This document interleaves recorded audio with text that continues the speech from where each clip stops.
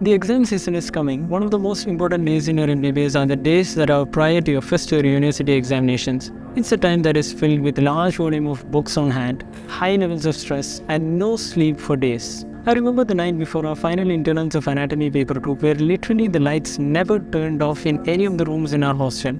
You could hear the sound of students through the corridors studying in groups or reading out aloud. In this video, I'm going to share some of the tips and strategies which helped me top my first year university examinations. If you stay till the end of this video, I will share you one cheat code which will help you master your first year university examinations. For those of you who are new to this channel, myself Omer Mohammed, I'm currently a third year MBBS student studying at Government Medical College, Kozhikode. I was able to score 83% in my first year MBBS examinations, which helped me become second in my class. So let's get started. Before you begin the learning material, first let's dissect the question paper and identify the high scoring parts. This is how a typical theory question paper would look like. Here we have to identify the high scoring areas which can have a huge impact on our scores. So in that regard, I would start with the one word answers. The great thing about this section is that you are guaranteed 10 full marks if you answer them correctly. This is the only section of the question paper where you can actually score 10 marks using just 15 minutes. And it's quite pretty big deal, especially for those who are on the borderline marks between pass or fail. However, these questions are moderately difficult in nature, so if you're able to score 7 or 8 questions out of these 10, that's a really good start to your paper. Next up are the two long essays of 15 marks each, which sums up to a total of 30 marks. It is truly difficult to pass a paper if you lose both your essays completely. However, the good thing about essays is that they are mostly typical. So when you start preparing for any subject, always try to complete the essays first before learning any other topic. With the essays and one word answers, you would have actually completed two high scoring parts of your paper, which means that if you can perform well in these questions, you can score around 30 to 35 marks in just these two sections. The next tip is you should obviously make a schedule. However, when you make a schedule, do not start with anatomy. Everyone starts with anatomy, but this is why you should not start with anatomy as your first subject. If you give me 20 days to prepare for the first MBBS, I would rather start with physiology or biochemistry for a week and then study anatomy. Why is it so? Well, the reason is that there is a thing called as a Parkinson's law, which tells us that work expands over time. What this means is that if you give a person a set amount of period to do a work, the person can actually do that work in lesser amount of time if there is greater amount of stress.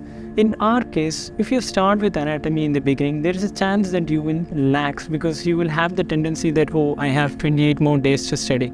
Rather, if you start anatomy after a week or after two weeks, then you have lesser amount of time to prepare for your university examinations and as a result, in that stress, you will complete anatomy in a shorter period of time.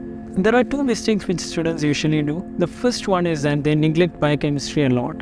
And what happens is that even though biochemistry is comparatively easier, some of the students do end up failing biochemistry, especially if it's the last university examination. So what I would suggest to you is that you should spend at least 25% of your total studying time for biochemistry and do not neglect it. Second mistake is focusing on gross anatomy a lot while neglecting the other parts of anatomy. In anatomy, you have embryology, histology, osteology, neuroanatomy, genetics, and general anatomy. These topics will cover anywhere between 10 to 30 percent of the total marks. So it's an easy pathway for students to actually score. What happens generally is that students will end up studying their entire time on the gross anatomy and completely neglect these parts. Rather, if they did focus on these parts, they could have easily scored at least 20 or 25 percent of the total marks no matter how well you have learned, you will not be able to write well if you do not revise what you have learned. It is absolutely critical in MBBS to revise whatever you have learned before going for the examinations. Also, no matter how well you have learned, you will not be able to perform well if you do not know how to present your answers in the examination. We all know that 3 hours is not enough to write everything that we know. However, we need to manage our time in the beginning itself what I used to do is that I used to make sure that the first 15 minutes were spent for the uh, short questions.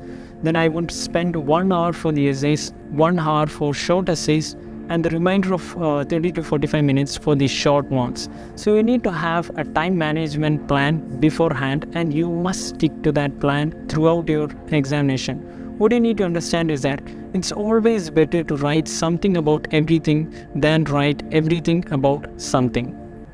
Since you have come this far, it's now time to reveal the cheat code. This is the book Paraclete created by the College Union of Calicut Medical College. This is in fact the first book which has been designed based on the new CBME curriculum.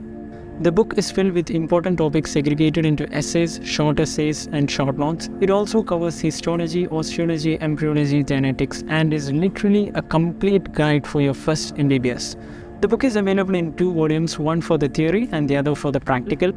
During our time, everyone used the previous edition of this book. Now the new edition has been curated according to the CBME curriculum. For more details, contact the link in description. So that's it for this video. Thanks for watching. See you soon in the next video.